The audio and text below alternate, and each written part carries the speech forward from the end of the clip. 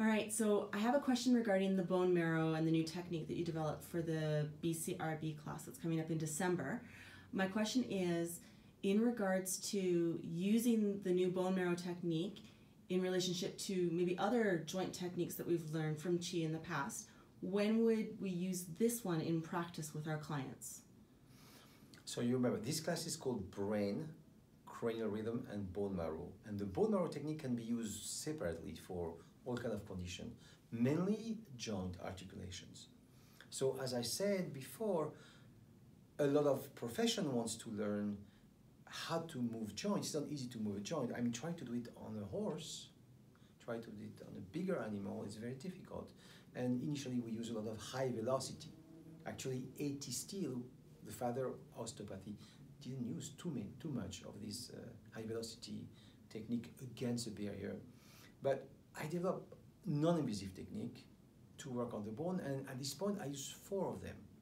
And it's not the condition, it's for this person and for this joint, for this uh, situation, which one works and doesn't work. So somebody, you treat them one time and it comes back, you have to use a different approach probably, you didn't use the right tool for this situation, it was not the right way to do it.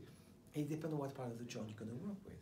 So for example, the first one is called fluid articular release, and that works if you want with a fluid rhythm, um, like a synovial fluid rhythm, um, interosseous, in the embryological articulation, articulation, diaphysis, epiphysis, and we also work intraosseous.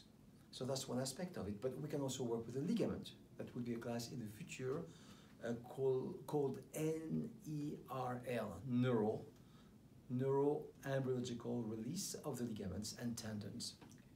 And that will be the ligaments around the joints, and it creates a lot of clinical changes, pain usually if the ligament is out, and it's very important. important. This is what brings really the stability in the body. So it could be a ligament, and that's what you want to address. It's very fast also, but you want to find if it's a ligament. Then it could be that the problem, problem is not in the joint, but it's an attachment of a viscera. So we want to, we consider that a visceral somatic lesion, and they are probably more important than a somatovisceral lesion. Uh, uh, a rib creating a problem on the viscera through the nerve, for example, is less common than the other way. A viscera pulling on the joint, and you could have a bladder, a chronic inflammation of the bladder pulling the pubes, pulling the, the hip with it, the sacrum, the spine. You could have a backache or a neck ache. And finally, the bone marrow. Sometimes the bone marrow is what creates the big chance, the miracle, one make the bone feel so aligned. And so you want to work with the bone marrow, marrow on each side of the joint, synchronizing the bone marrow motility on both sides of a joint, interosseous, and you can work intraosseous also.